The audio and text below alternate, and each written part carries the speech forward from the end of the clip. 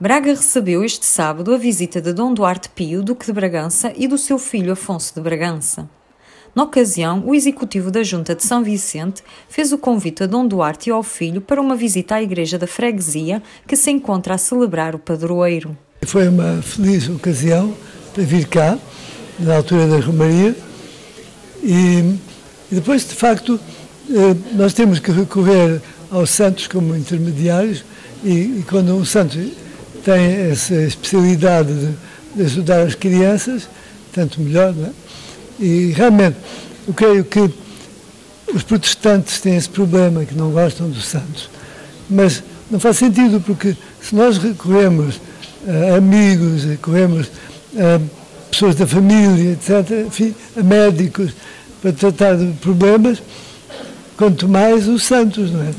E, por outro lado, os santos, porque enfim, quer-se um, um Deus absoluto que não, que não participa e não colabora através dos santos, está errado, de certeza. Não? É? Sempre tive uma forte ligação com, com a cidade de Braga, gosto muito de cá visitado. Infelizmente não venho com tanta frequência, gostava de, de, de, de ter vindo mais vezes, mas é sempre o, a dificuldade do tempo. É uma viagem de ida e volta, uma viagem de um dia. Mas Gosto muito de vir cá, sou sempre muito bem recebido, tanto eu como o meu pai e o resto da minha família.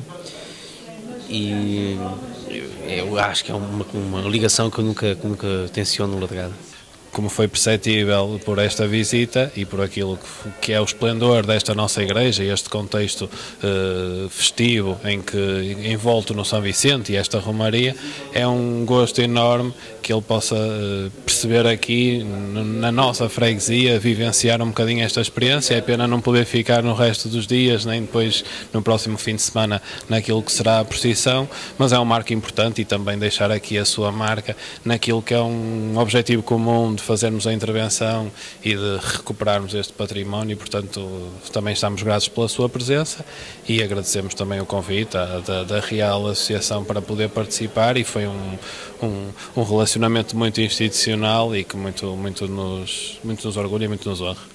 No final da visita à igreja, Dom Duarte Pio e Afonso de Bragança assinaram uma telha para a cobertura da igreja de São Vicente.